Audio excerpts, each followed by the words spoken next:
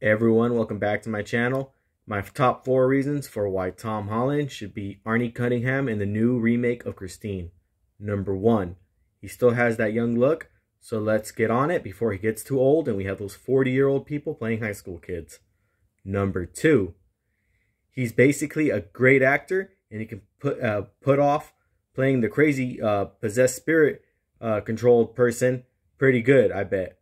Number three, he plays a nerd in his high school Spider-Man movies, so he's going to play a great nerd in this movie.